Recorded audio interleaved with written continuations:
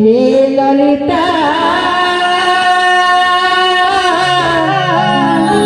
ধনরে মোর ধনর কথা ফুলে বসি শুনো তারে কৃষ্ণ আরে